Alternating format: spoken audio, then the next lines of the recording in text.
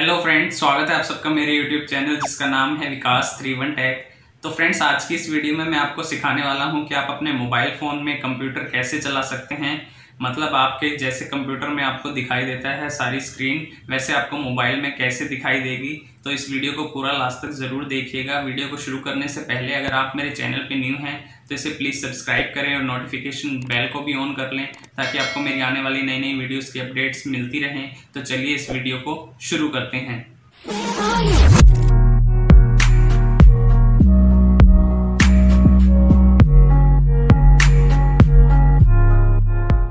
तो फ्रेंड्स हम आ चुके हैं अपने मोबाइल फ़ोन की स्क्रीन के ऊपर, जैसा कि आप देख सकते हैं। तो फ्रेंड्स मोबाइल के अंदर कंप्यूटर चलाने के लिए आपको सबसे पहले प्ले स्टोर के अंदर जाना है और यहाँ पे आपको एक एप्लीकेशन अपने फ़ोन के अंदर इंस्टॉल करनी है, जिसका नाम है कंप्यूटर लॉन्चर। ये आ गया, इस पर सर्च पे क्लिक कर देना है और ये सबसे ऊपर आ जाएगी। इसको आपको अपने फ़ोन के अंदर इंस्टॉल कर लेना है। तो आप देख सकते हैं, ये डाउनलोड हो चुकी है और अब ये इंस्टॉल होनी शुरू हो रही है। तो फ्रेंड्स, आप देख सकते हैं, ये इंस्टॉल हो चुकी है मेरे मोबाइल फ़ोन में।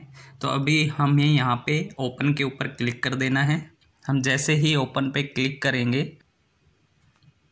ये देख सकते हैं आप, जैसे कंप्यूटर में आपको दिखाई देता है, वैसे ये स्क्रीन बन चुकी है, जैसे दिस पीसी थीम जैसे आप इस पर क्लिक करेंगे एलो करेंगे, यहाँ पे आपको आपके डिवाइस का नाम डालना है, मैं अभी नहीं डाल रहा, मैं आपको दिखा देता हूँ यहाँ पे कैसे कैसे करना है, ये देखिए, यहाँ पे जैसे आपने माई कंप्यूटर पे क्लिक करा था तो यहाँ पे लोकल डिस्क सी दिखा रहा है आपकी इसमें मेमोरी कार्ड नहीं है तो अभी इसलिए वो दूसरी डिस्क नहीं दिखा रहा। ठीक है, बाकी सारी चीज़ें यहाँ से आपको दिखाई दे जाएँगी। यहाँ पे डाउनलोड्स पिक्चर्स वीडियोस ये सारे हैं। यहाँ से आप बैक आ जाएँगे ऊपर लेफ़्ट में क्लिक करके।